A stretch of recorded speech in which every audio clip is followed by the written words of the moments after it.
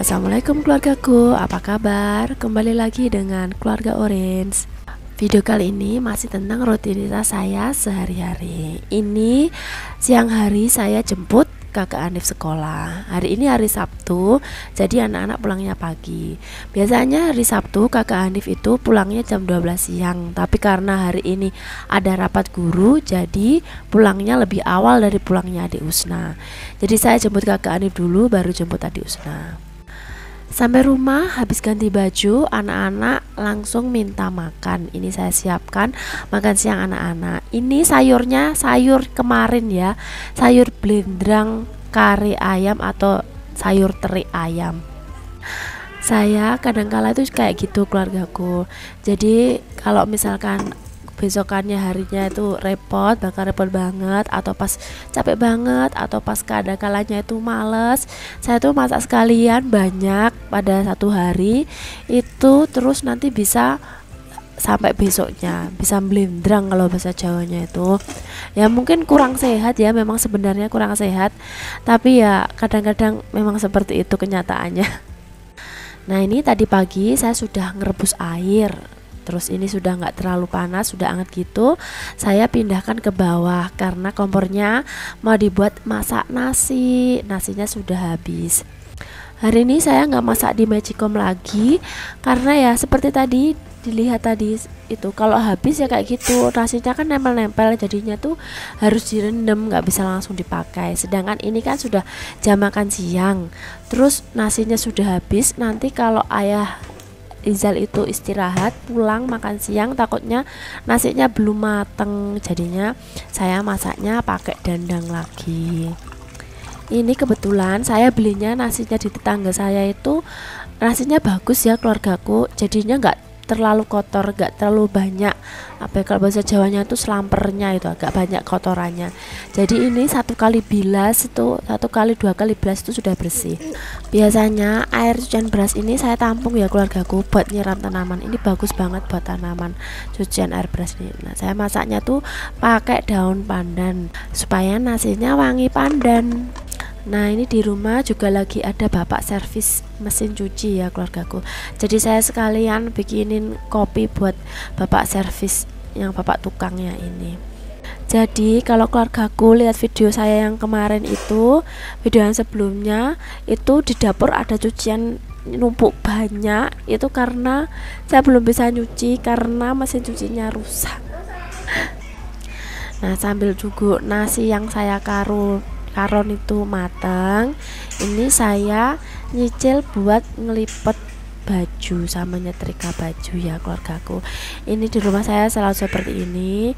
Di tempatnya ini, ini tempat ini kayak gunung gunung Everest ya. Pegunungan baju. Banyak banget bajunya itu saya tuh orangnya mut-mutan ya keluargaku.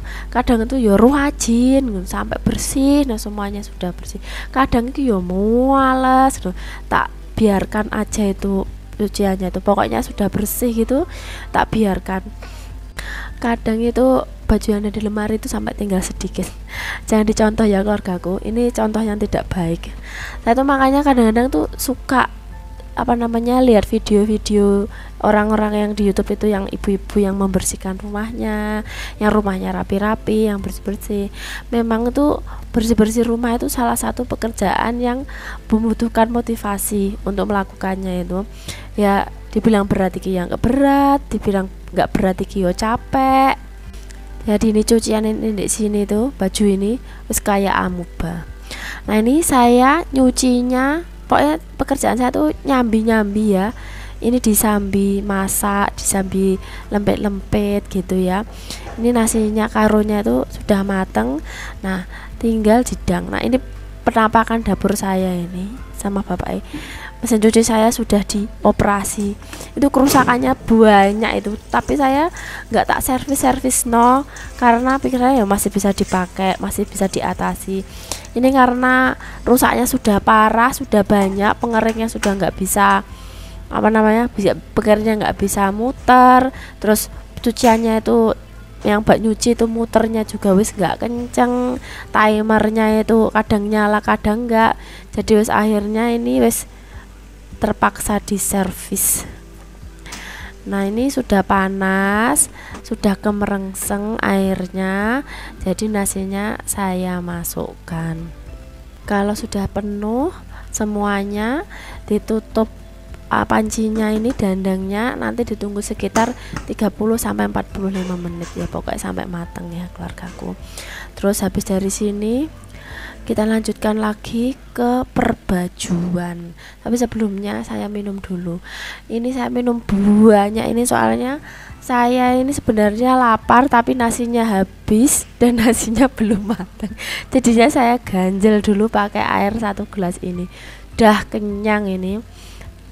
Cukup buat mengganjel perut yang lapar sampai nunggu nasinya matang sambil melanjutkan aktivitas melempit-lempit baju tapi memang air putih itu saya suka banget ya keluargaku. Sak keluarga ini seneng banget minum air putih. Karena ya memang sehat ya. Jangan lupa minum air putih ya keluargaku walaupun aktivitasnya sibuk. Nah ini saya lanjutkan acara melempit-lempitnya. Ini saya lempit-lempit itu juga tak sambi. Kadang nonton ini YouTube. Ini saya lagi nonton drakor ya keluargaku. Terus kadang juga nonton ceramah. Pokoknya kalau di lagi lempet-lempet lagi nyetrika. Itu kayak saya tuh me time gitu ya. Nah ini saya wirawiri ya keluargaku.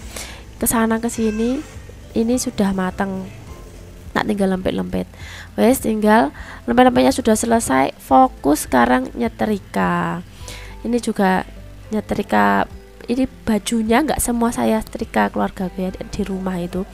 Yang tak setrika ini cuma baju-baju yang di dipakai ke kantor dipakai ke sekolah dan yang dipakai buat keluar-keluar gitu buat buat jalan-jalan.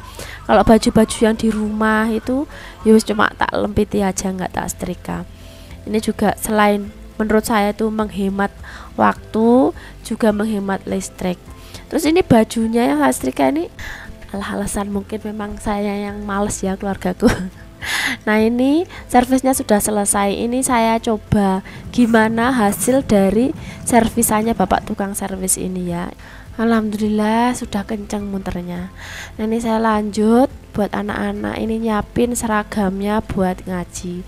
Jadi anak-anak mandi tadi itu saya tandang gawe itu sambil teriak-teriak Ayo undang mandi, ayo undang mandi. Ini saya siapkan buat seragam ngajinya.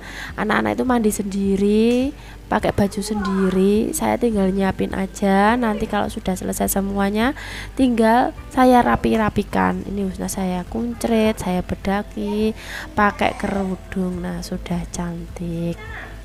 Terus kakak Anif ini bajunya kepanjangan kebesaran jadinya saya linting. Nah ujuk-ujuk sudah sampai sekolah TPK nya nih salim buat berangkat sekolah. Nah ini anak-anak pergi mengaji.